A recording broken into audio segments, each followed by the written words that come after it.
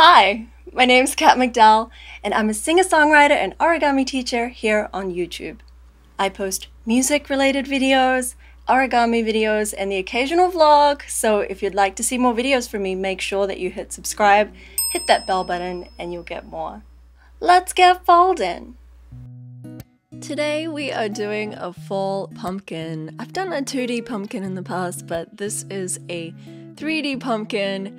It's going to be in two parts. So first, you know, you're going to create a hexagon shape and then we are going to kind of inflate it a little bit like the paper balloons. soon forget my aching head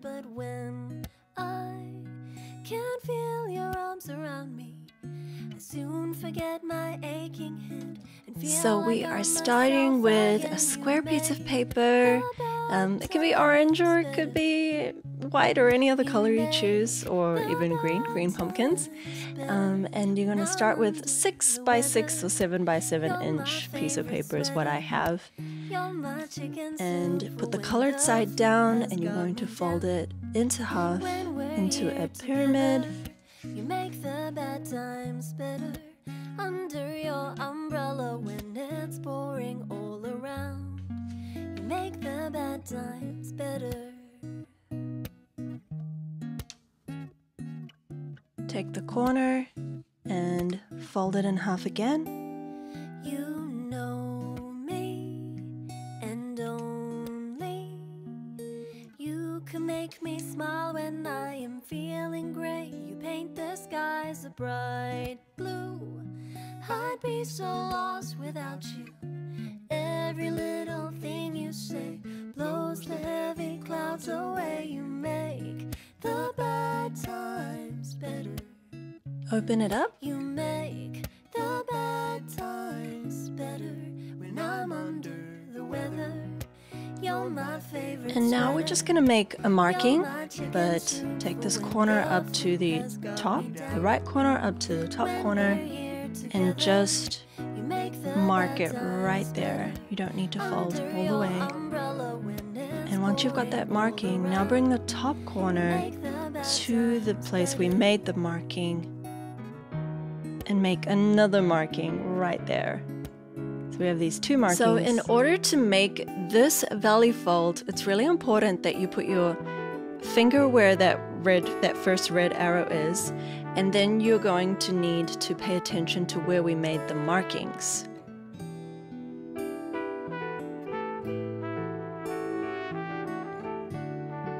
So put your thumb or your finger right there in the center to just hold that piece of paper down and guide the, um, the rest of that side so you can bring it over and then you're going to match the first marking to the second marking. So just slide it over.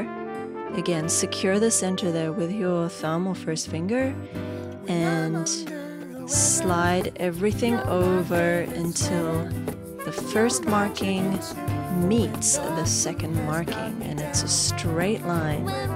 Everything should be straight.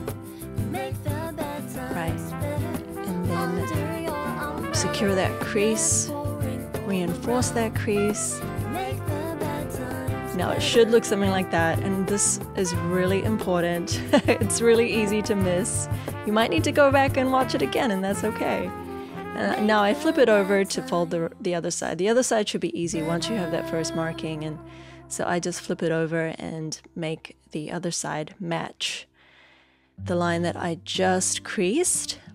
It should be equal and match up perfectly like that.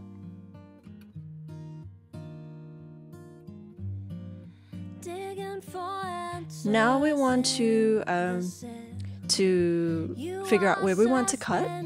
So again, we're going to find the points where the paper meets, find the point where it ends there, and then fold it back. Just copy what I'm doing with my hands and do everything really slowly so that you get all of these really straight, rigid, precise lines Like that. See, that one wasn't precise, so I'm just going back and fixing that.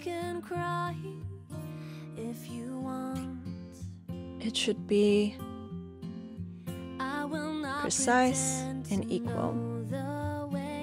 Once we have that line, we know where to cut. So get your scissors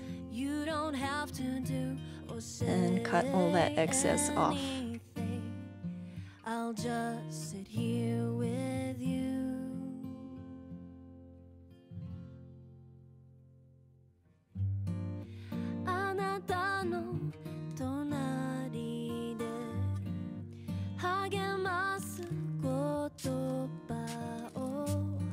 Once you cut it, it should look like a perfect triangle, which then folds out into a hexagon. Amazing! Okay, so I'm going to pause this next section to explain what we want to do. All of these points are going to be mountain folds, which means that they're all going to fold over. Then all of the sections in between are going to be valley folds, which means they're going to fold under. Once we're done with these folds, it's kind of going to look like an umbrella, like an open umbrella that you're looking at from the top. Some of these are already mountain folds, so I'm going to start with the points.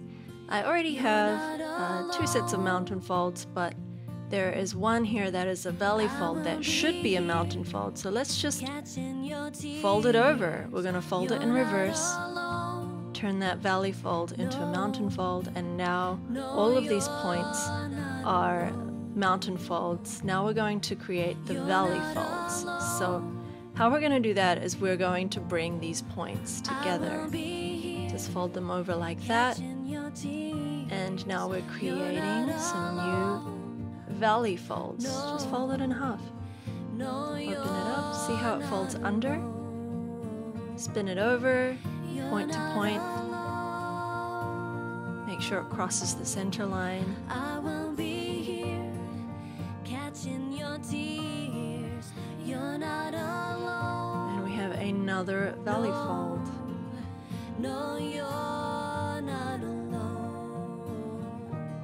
Oops, there's that one too. That one also needs to be a valley fold. It's not quite a perfect hexagon there, is it? okay. Now we are going to, again, fold it up kind of like an umbrella. Let's just even it out so there's three, um, there's three flaps on each side.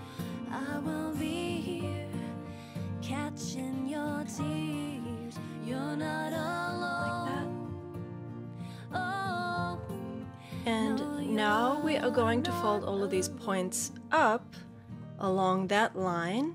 And so again, put your finger on the center, what I'm doing with my right hand, and then bring the side up to the center and reinforce that fold. Do it on the other side.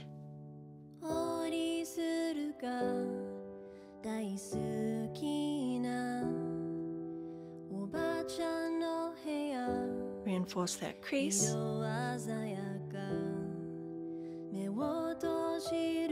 Now flip the page over. We're going to do this again. Bring the side up.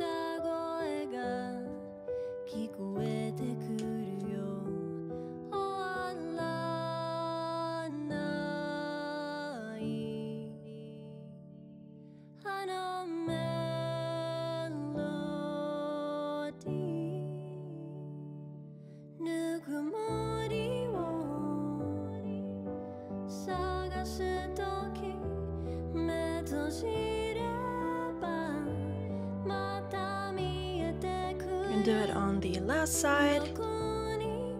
One more time.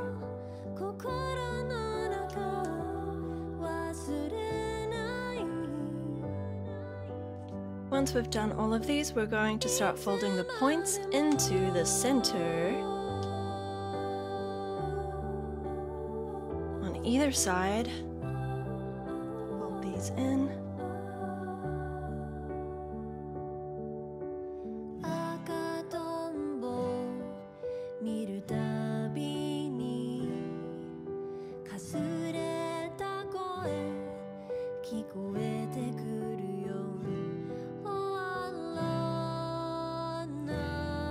Flip it over and repeat.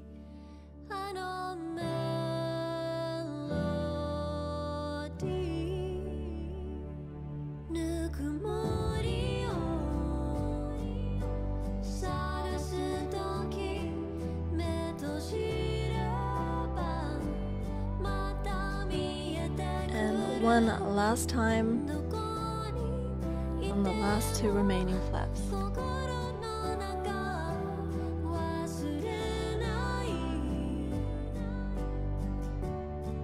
This is where it's going to get very small and finicky. So we're going to fold, um, there's two pre-folds before we tuck this into the pocket. So we're going to fold once directly down and then once diagonally. So I'm just showing you these lines first.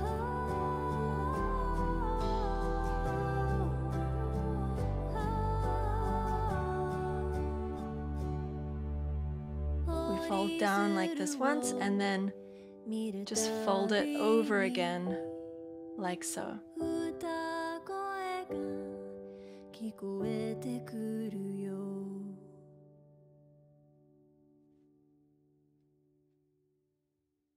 We will do this on all the other sides too.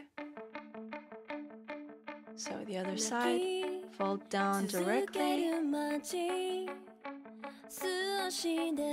straight down and then diagonally over like that.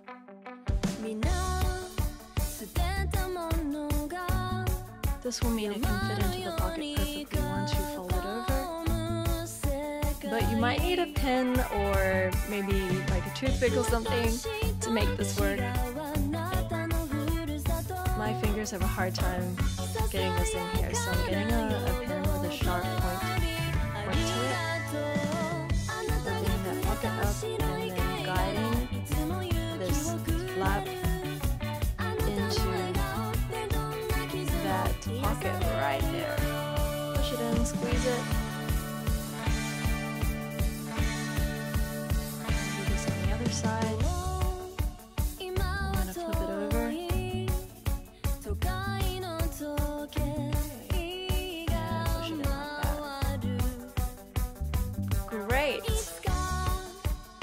Double folds really help to keep it together once you blow air into it. And we're gonna do this with the other sides too So you can just watch this again.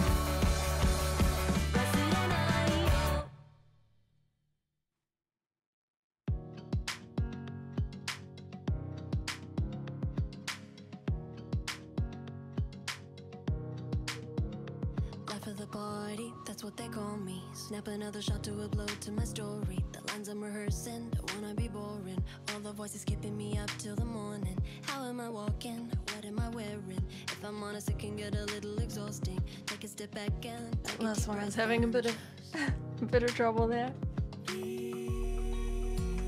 We'll just keep trying.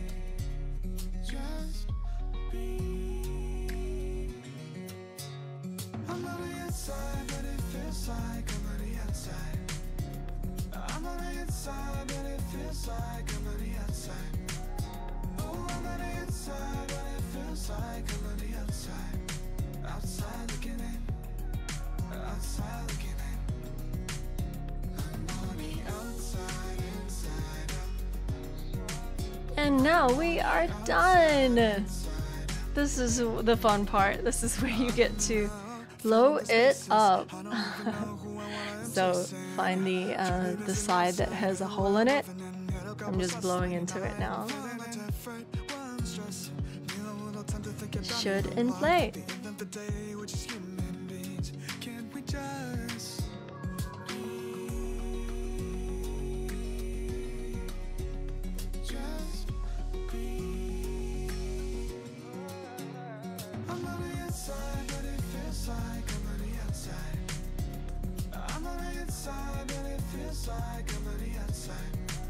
hope you enjoyed today's origami lesson. Remember to subscribe if you like these videos and please, please tag me in your photos if you ever post them. I'd love to see them. I also make origami live on Twitch, so come and hang with me over there. I'd love to see you. If you want to hear more of my songs, there's a playlist here. If you want more origami tutorials, there's some right here. And lastly, I want to thank my Patreon supporters. Their generosity allows me to do what I do here on YouTube. So thank you, thank you.